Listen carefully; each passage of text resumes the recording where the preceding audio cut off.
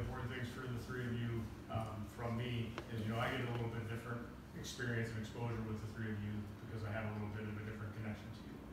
Um, and just the way you handle yourselves, the things you do, the respect that you command, what you do with your fellow teammates, um, the things you've done, the work you've put in, coming back from injuries, working yourself through things, um, doing things when other people won't. I mean, those are the types of things younger generations need to see. You're the types of leaders that we want to have come back to the community and things we want to do. Appreciate it.